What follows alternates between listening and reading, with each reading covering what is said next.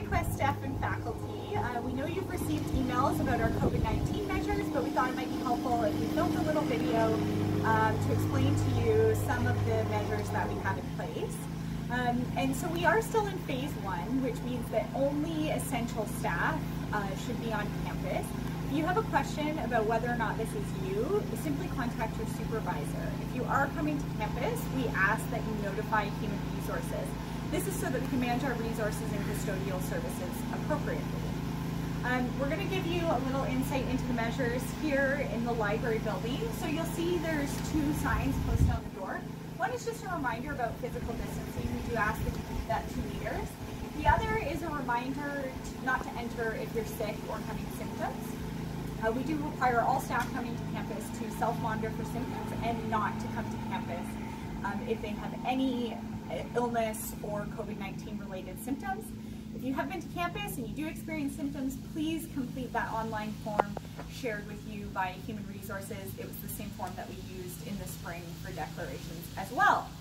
Um, we are going to be entering into a common space, so we do ask that you wear masks in common spaces, especially when physical distancing um, is not possible. So I'm just going to put this on and we'll head inside.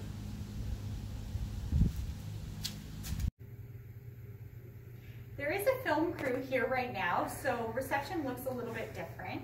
Um, but you will notice that there's cordon off barriers, both at reception and security, to ensure um, that six feet or two meter distance. So please respect that when you're using the common spaces.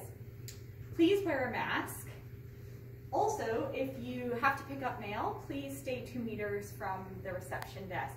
Operations will be sending um, mail to the academic building uh, for those who are working in that space, so you can check your mail slots there.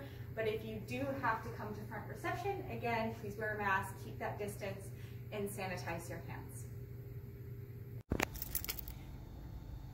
If you are working in the academic building, please enter the building through this bottom garage um, stairwell and then head up to the top floor via the elevator.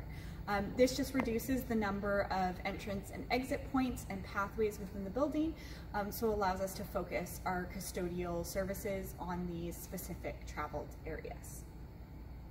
When traveling in the elevator, please limit capacity to two people max or one household. Also, just a reminder, please don't use the stairwells unless it's an emergency. Um, this helps us uh, limit uh, where custodial services has to tend to. There are hand sanitizer stations all around campus, so please sanitize your hands if you're not able to wash them with soap and water, um, especially before and after entering common areas. For the washrooms in the academic building, please use the washrooms on the top floor, again, to reduce the demand on custodial services.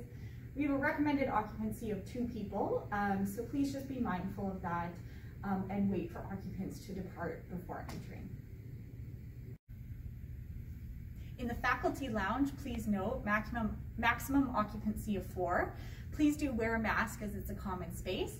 Stay six feet apart. Also, while custodial services will tend to the space, there's also disinfecting wipes available, so please wipe down any high-touch surfaces after you use them.